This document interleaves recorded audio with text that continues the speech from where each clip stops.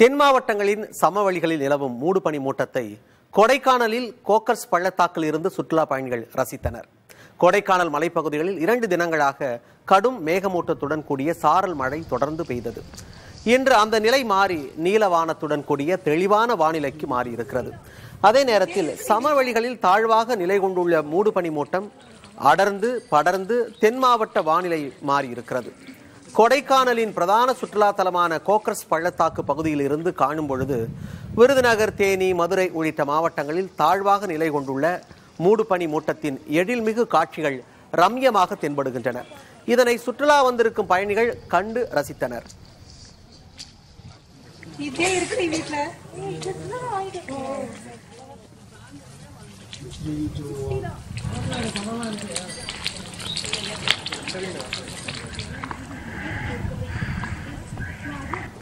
林子心里把头，我是当。